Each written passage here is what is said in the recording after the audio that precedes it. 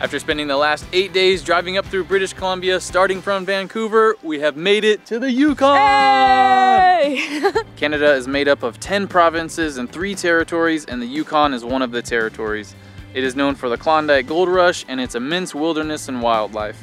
In fact, the territory is about 80% wilderness and there are more moose than humans. Over the next few days, we're going to be driving over 575 miles through the Yukon, mostly on the Alaska Highway, to finally get to Alaska. We have many stops we plan to make, and the first is just 10 minutes up the road, the Signpost Forest.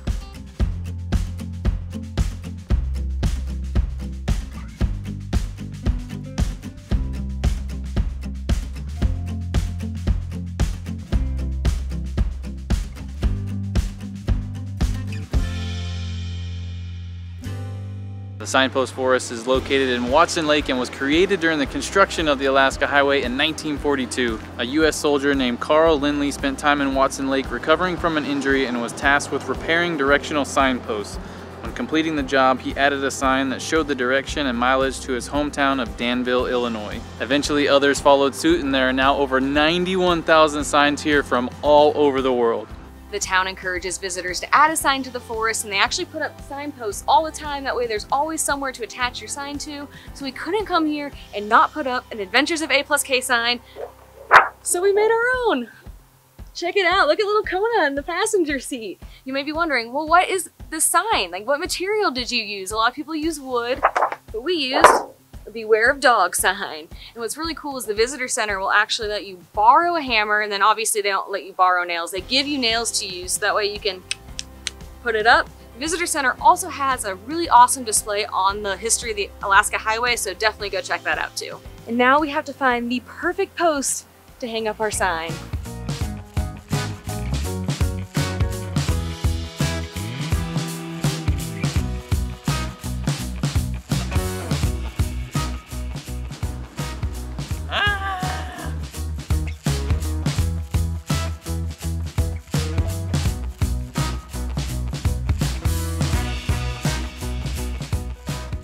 Such a fun and quirky stop. We're just walking up and down all these aisles, just looking for places we've been, places we have some kind of connection to. Oh, we've been there. Oh, we've been there. Oh, remember that place? It's a lot of fun to bring back a lot of memories.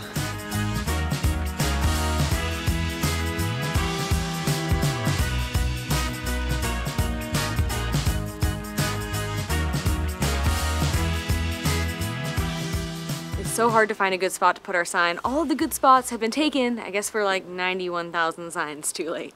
I think we found the spot. That fits right there, huh?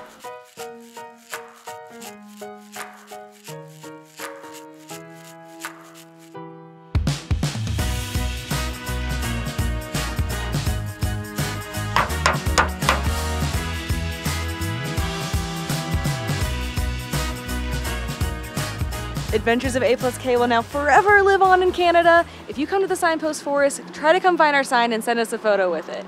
We probably saw about 50,000 of the signs. We wish we could have seen them all, but time to get back on the road. Our plan for the rest of the day is to drive 155 miles to Teslin. It doesn't look like there's that much to see and do along this stretch of the drive. It looks pretty remote, so we're just gonna book it there because it's already 4.30 and it's about a three hour drive and we are getting very, very tired.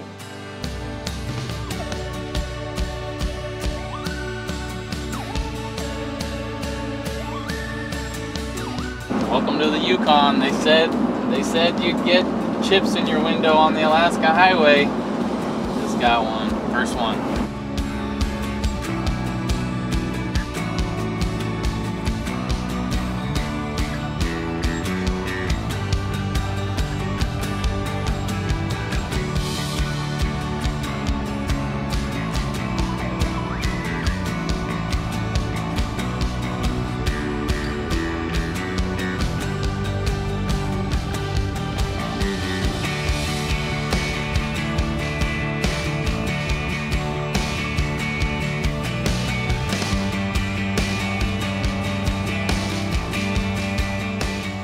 Just saw our first moose. Yes. I was just thinking how we haven't seen any wildlife since getting here to the Yukon, and I'm assuming it's because it's raining and maybe they're all hiding in the trees, but that was so exciting. We've been keeping track of all of the wildlife we're seeing, minus the bison because that's just too many to count, on my phone. That way, at the end of our time up in Alaska, we can count it up and just see all the different animals we saw. And actually, we realized we haven't seen any wildlife in the Yukon because this road dipped back into British Columbia, which is where we are now, but we'll be back in the Yukon here pretty soon.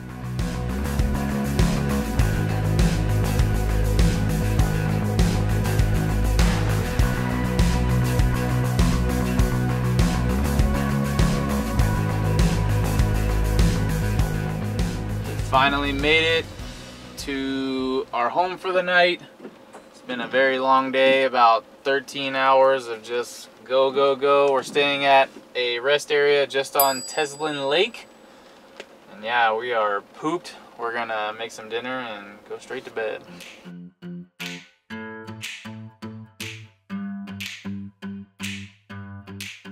It's almost 10 p.m. right now and it is still so bright outside. We looked up what time the sun sets and it's like 11, 15 or something like that. And then the sun rises at 4.30. That is crazy.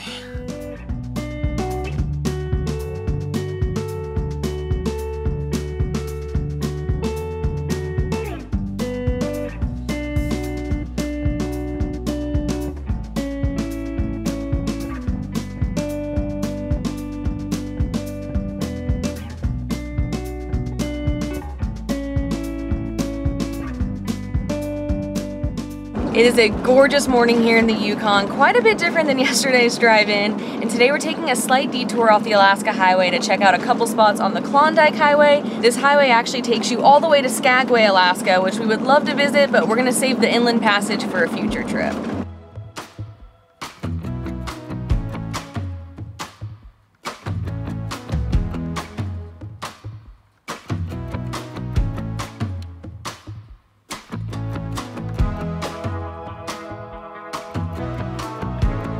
The lady at the visitor center yesterday told us that the Yukon is paradise and to be careful. Some people don't leave. And based off the scenery we've seen so far, I totally get it.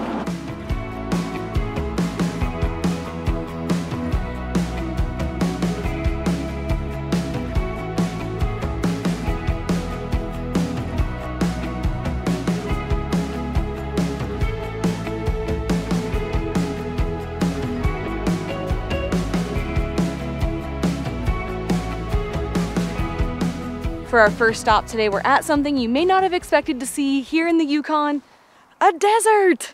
We're at the Carcross Desert, which is said to be the smallest desert in the entire world at 1.6 square kilometers. However, it's not technically a desert because the area receives too much precipitation and it's actually a collection of dunes and it's one of the few dune collections in Northwest North America. If you're curious how these sand dunes got here, you have to go back about 10,000 years ago when much of North America was covered in sheets of ice. These sheets of ice started to melt and it created ice dams, which then created these glacial lakes and tons of sand and silt collected at the bottom of these lakes. These lakes started to disappear and now today the Watson River flows into Bennett Lake bringing lots of sand into the lake and in the spring the water levels of Bennett Lake starts to go down exposing some of the sand and then the winds pick up the sand and it collects here on these sand dunes.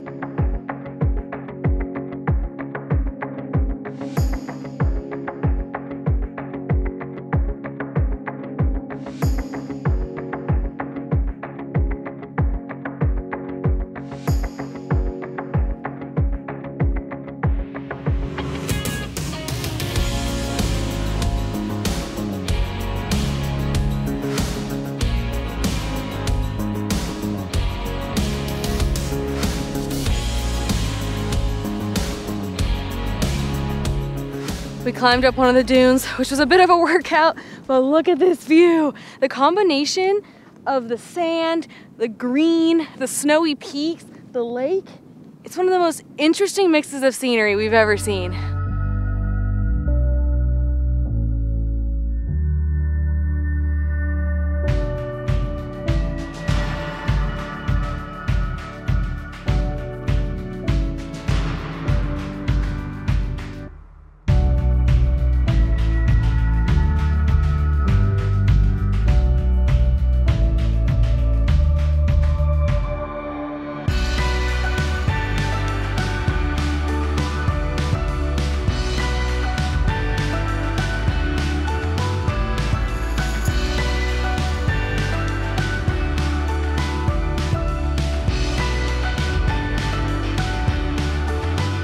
Next up, we're heading less than 10 minutes up the road to Emerald Lake.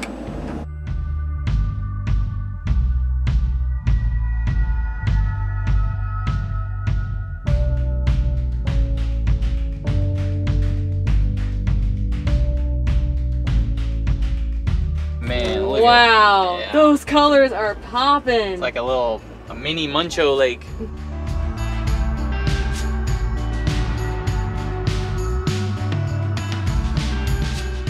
This lake is one of the most striking blue and turquoise lakes we've ever seen. And what's really cool is there's a mix of colors in there. So you get to see like the contrast between the different shades of blue. And according to the sign, this color is created by the sun reflecting off of a white layer of marl on the lake bed. And marl is a white calcium carbonate clay that forms in the water and then settles, often unevenly, onto the lake bottom. And it forms when enough carbonate from dissolving limestone reacts with calcium in the water.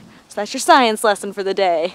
Actually, that's your second science lesson because Adam already dropped some science knowledge earlier.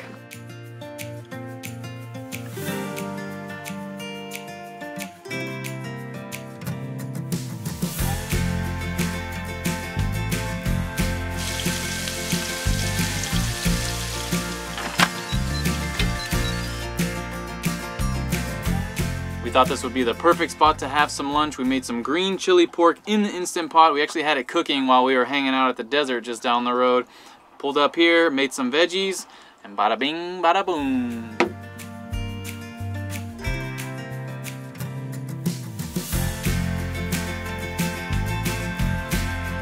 We are heading back towards the Alaska Highway to get to our final destination of the day, the city of Whitehorse. But first, there's a neat looking spot along the way called Miles Canyon that we're gonna check out.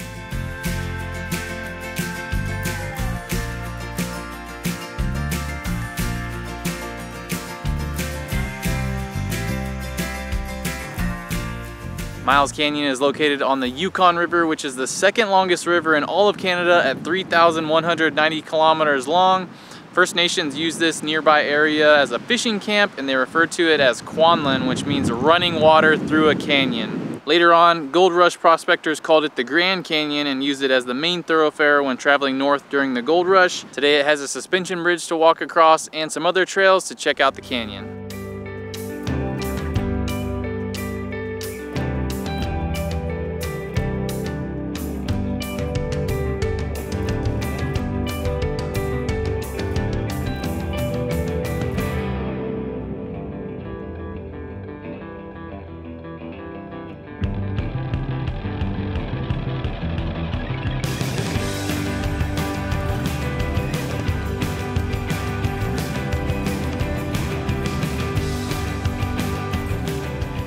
Walls of the canyon are made up of basaltic lava, which originated from a low volcanic vent about eight kilometers south of here, and the lava flowed eight and a half million years ago. They drilled near the canyon and determined that the lava is 110 meters thick, but you could only see about 10 meters of it right now. And before they put a dam in along the river, the water was about 10 meters lower, exposing more of the lava.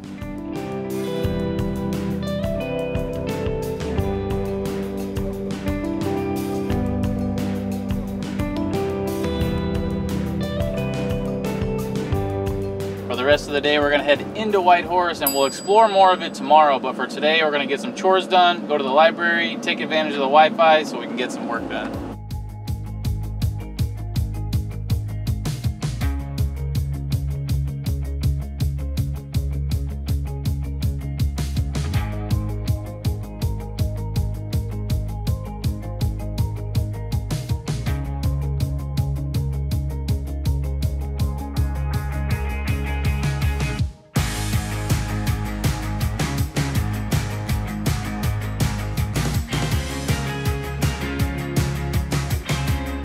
Whitehorse is the largest city in the Yukon and is named after rapids on the Yukon River which resembled flowing manes of charging white horses. While the area was home to First Nations for many years, it experienced a rush of prospectors during the Klondike Gold Rush and the area grew as a staging and distribution center. The area boomed again during the construction of the Alaska Highway as one of the largest camps on the road. Today it is the capital of the Yukon, taking the title from Dawson City in 1953. And to see more of the area, we're gonna walk the Millennium Trail, which is four and a half kilometers, takes you around town along the Yukon River.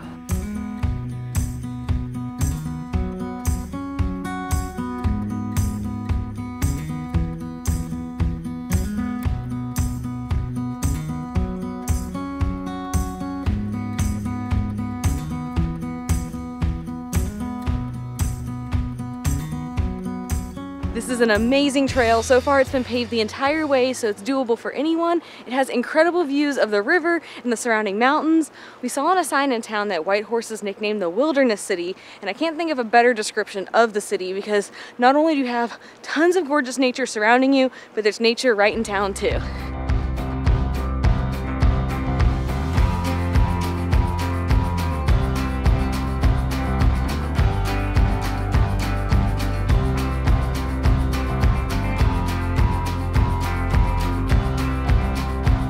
Well, it seems the other half of the trail is closed for whatever reason, so it looks like we'll be heading back the same way we came.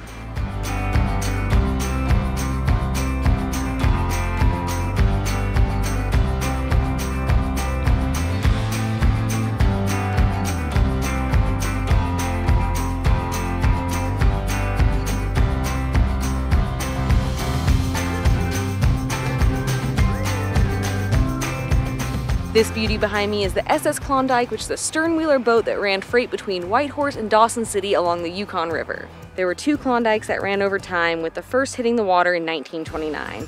It was the first sternwheeler on the Yukon River large enough to handle a cargo in excess of 300 tons without having to push a barge. It originally hauled ore, but over time began to haul passengers and cargo as well. However, the first SS Klondike hit a rock wall and sank in 1936, and a second SS Klondike was built in 1937 to resume the tasks of the first. The second SS Klondike is the one that you see here today, and it was moved here from Dawson City in 1967. We had hoped to tour the inside, but unfortunately the inside is closed currently for restorations, but you can still walk around and check it out on the outside.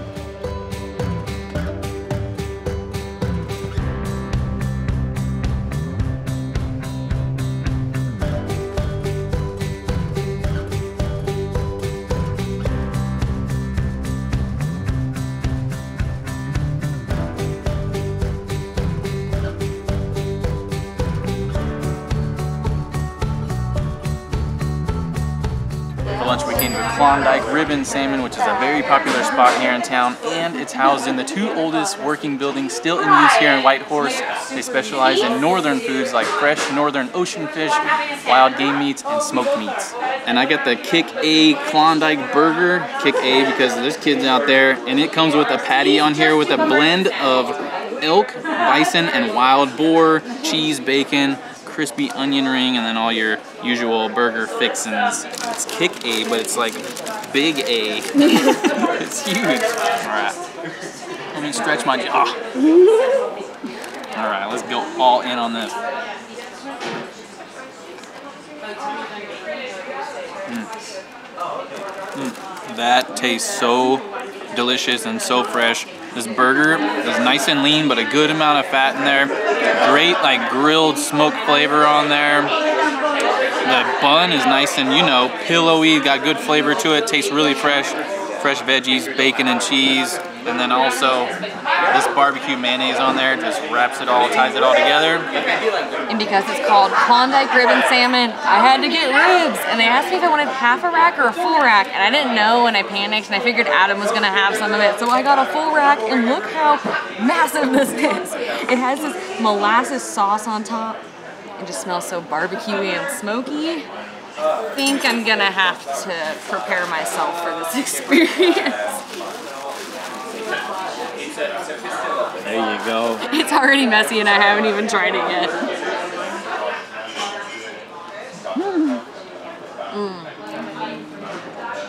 Uh-oh. Oh, well. Yeah, buddy. Yeah. All over my face. wow. I mean, that's really good. It's super messy. It's all over me. As it should be. As it should be. If it if it ain't messy, it ain't eaten. I don't know. no, it's really good. The sauce is nice and thick and sweet. The meat comes off the bone super well. It's definitely worthy of naming a place after, I'd say. There are also a bunch of government officials from Canada eating here, and they all just watch me completely make a mess out of myself, so I'm making a really good impression.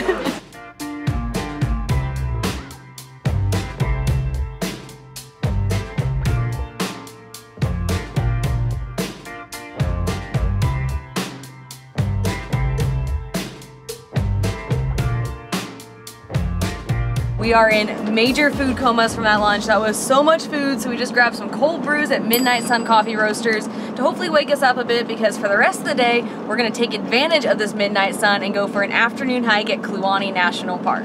This park is located two hours west of Whitehorse and is home to tons of wildlife, the largest non-polar ice fields in the world, and the highest peak in Canada, which is the second highest peak in North America, Mount Logan at 5,959 meters.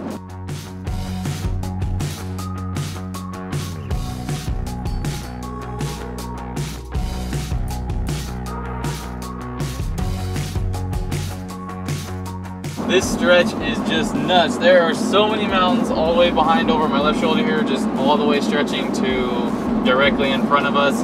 This would be a destination on its own and we haven't even gotten started yet. It is, wow, it's crazy.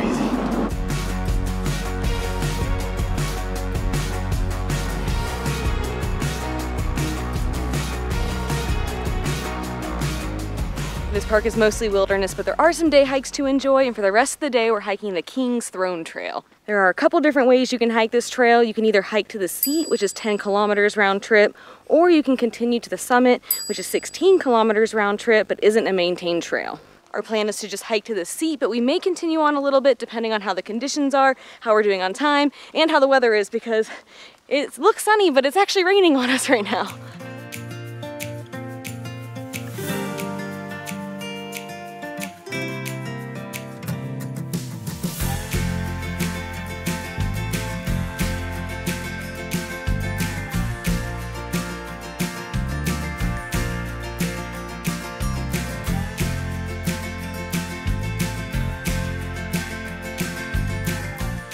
This trail has been mega steep so far. We're finally starting to get above the tree line and it's only getting steeper it looks up behind us, but we have got us a view right here. So many mountains, this giant beautiful lake. Wow. Giant mosquitoes. And giant mosquitoes. Are you having fun?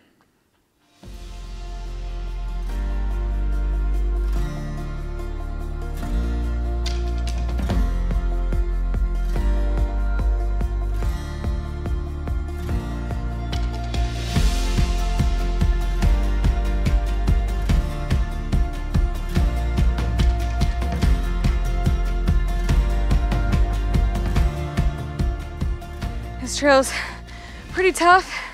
We haven't done very many hard hikes this year, so we're not in our best hiking shape.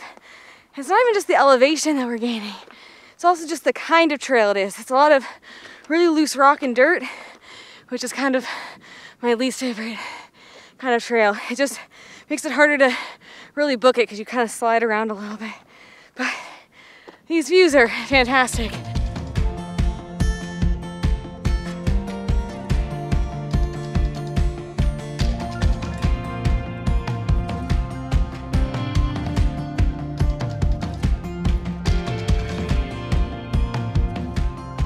So we have made the difficult decision to turn around. It felt like we were making a lot of progress towards the where we think the seat is, but looking at the map, it doesn't really look like we're getting anywhere very fast. And there are some dark clouds coming behind the mountain, and we know it's supposed to rain. Oh, these mosquitoes are awful.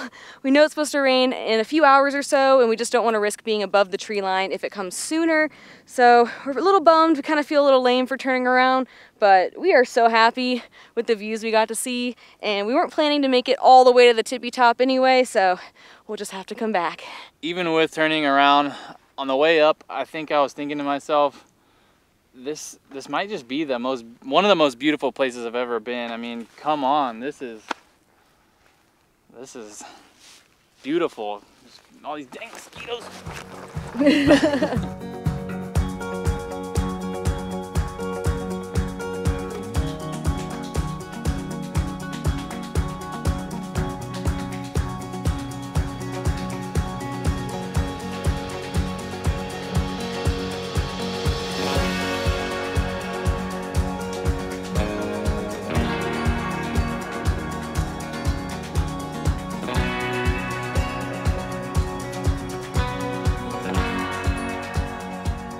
Seems like every single time we turn around on a hike because we think the weather might turn bad, it ends up being insanely beautiful, but it's better to be safe than sorry. And thankfully our views are not over for the day because tonight we're hoping to camp at a free campsite that should have some really gorgeous views.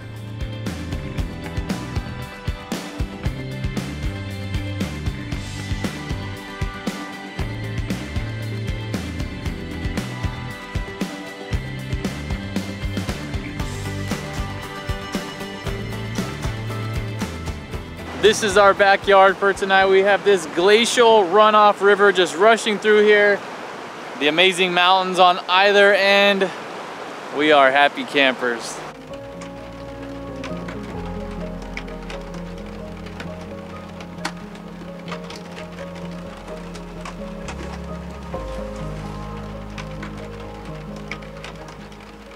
It has been a bit rainy this morning, so we've just enjoyed a slow morning working in the van, and our original plan was to spend the day hiking at Kluane National Park, but it's still a bit cloudy out, so we're gonna push off hiking for a few more hours, and we've come up with a possible plan B.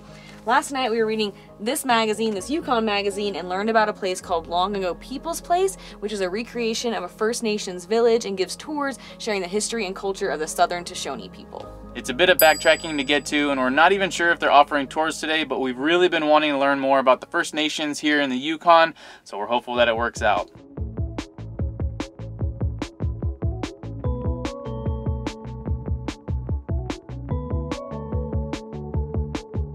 We made it and we were told that we can get a tour, so we're just waiting on Harold to show us around. This is Harold, who runs Long Ago People's Place. We learned so much from him and it's impossible to share it all, but a good place to start is with an understanding of the different First Nations and languages in the Yukon. This is all Athabascan, and these are dialects of the mother language.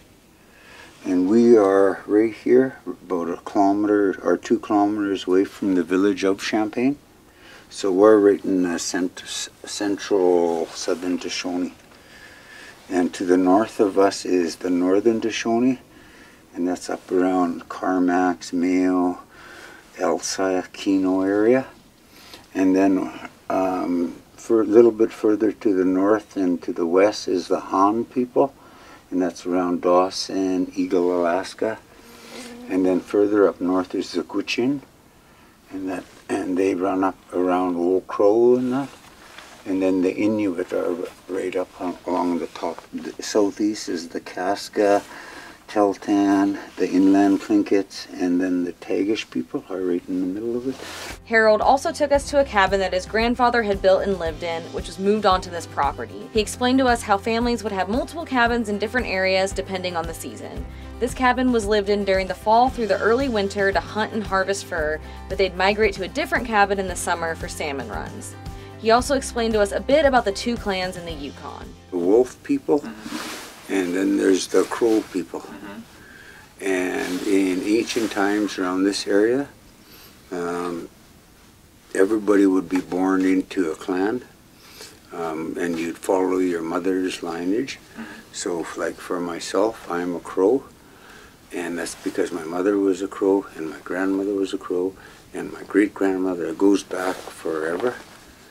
And the main law of the clan is that a crow has to marry a wolf. And therefore, all my children are wolves.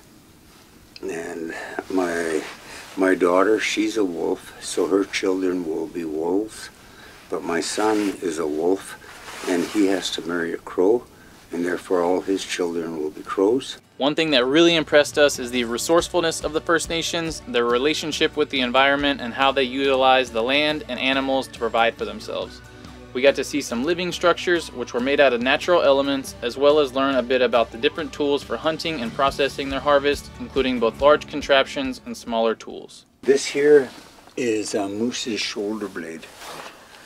And this is a hunt, hunting instrument. And what they would do with this is you'd rub this on the spruce trees in the fall and on the willows. And this will um, replica a bull moose scratching the velvet off its horns. And a, a moose will hear this sound and come to that, that noise. So if you start doing this, you have to have your gun ready or your bone arrow ready.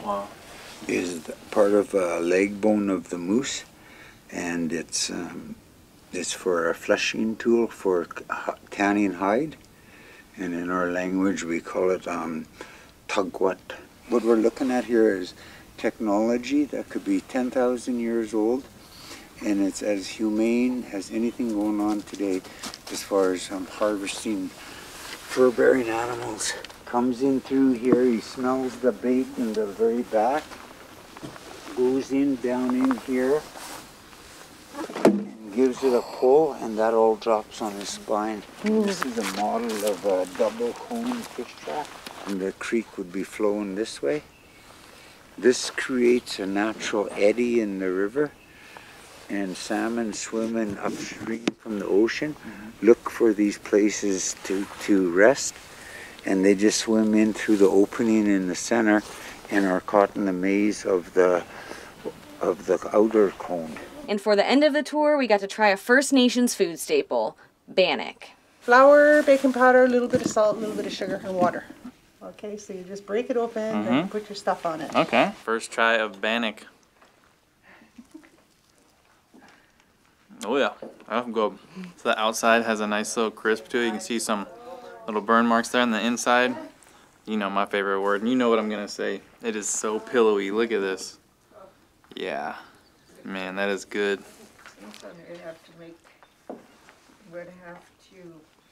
Mm. It's so dense but light at the same time. Mm -hmm. Kind of has a little bit of a stretchiness to it. Oh, this is amazing. Yeah. I love it. Thank you.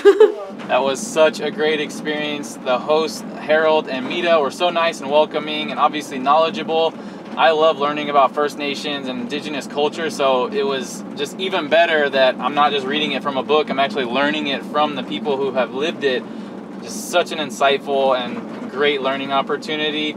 And at the end, we got to end with tea and bannock. Man, that was a great way to end it what I loved about it is just how authentic it felt. It did not feel touristy at all. We were just on their land. We got to see a home that Harold's elders had built. We got to see the tools that his elders had used. It just doesn't get any more authentic than that. And if you'd like to visit for yourself, you can actually email them in advance or they'll eventually have like a scheduling tool on their website in the next month or two. So make sure you do that so you don't just show up unannounced like we did. They thankfully were so welcoming and they still gave us a tour even though they had zero warning that we were coming. And it cost $41.50 Canadian per person, which is more than worth it because this is their livelihood. They run camps here, and they, their whole goal was to educate others, both First Nations people as well as people just like us, on their culture. And I, I seriously, I don't have enough the right words. I'm still processing it all to explain just like what a special experience that was. Out of everything we've seen on this entire trip up to Alaska, this is hands down one of the things that's going to stick with me the most forever. We're now on our way back to Kluane National Park, but to a different area to go on another hike.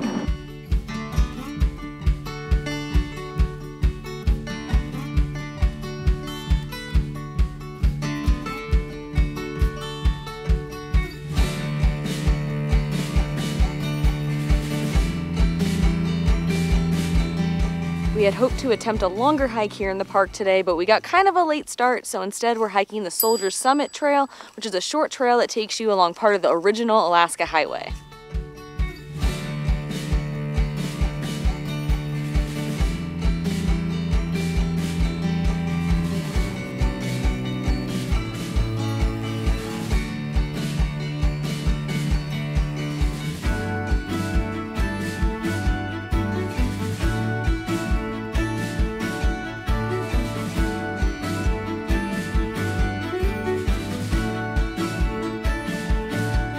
Trail, there's lots of signage about the building of the highway and how the building of the highway negatively affected the First Nations in the area. And then finally, how the park today is working with those First Nations to manage the park and also restore the relationship with the First Nations. And the trail ends right here where the actual ribbon cutting ceremony happened in 1942. I'm speaking to you from an improvised control room in the rear of an American Army truck parked away up here on the Soldiers Summit, a high pass on the Canada-Alaska Highway and where at this moment, some hundred yards from my vantage point, the official opening of this great road is taking place. We shared some history about the Alaska Highway in our last video, so go check that out to learn a little bit more. But one thing I did not know is that the first trip from Fort St. John to Whitehorse took 71 hours, which is five times as long as it takes today. And I will say, I would gladly be on this road for 71 hours. It has been gorgeous the entire time. And even this hike, which is meant to just be like a informative short hike, has sweeping views of the area. It is so beautiful out here.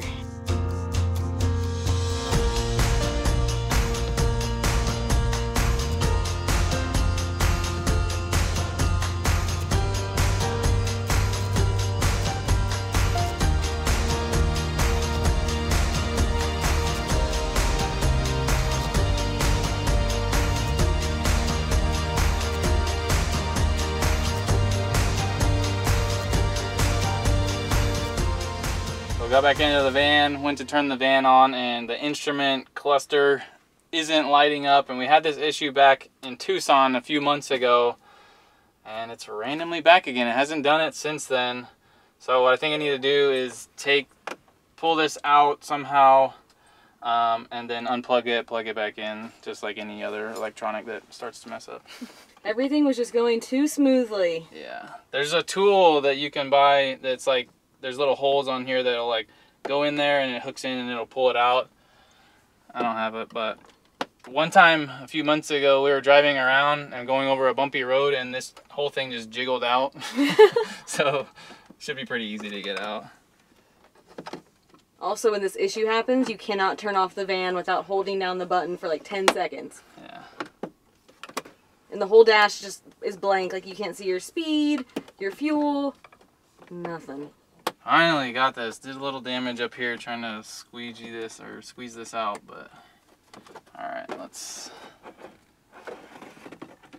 take this out. If you ever wanted to see in insides of a sprinter. Okay. There we go. Instrument cluster undone.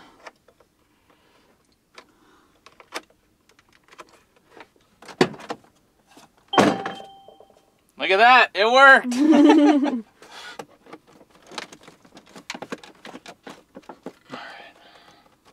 Good as new? Still working. Oh, Just yeah, a little yeah. bit of a road trip excitement. Yeah, nothing like it. Yeah, good stuff. I'm just happy that when I plugged it back in, it worked. And like, oh, whoops. Look at good job here. Huh? I'm just glad it worked. We'll figure this. You're definitely out. not in the right um, area to be having. Yeah, yeah. So if something didn't if it didn't turn back on or something, we'd be in a bit of trouble right now. All right, we're back on the road. Everything's going smoothly. Yeah, thank goodness. It's only gonna stay smooth. That's right. Manifest it. Yeah.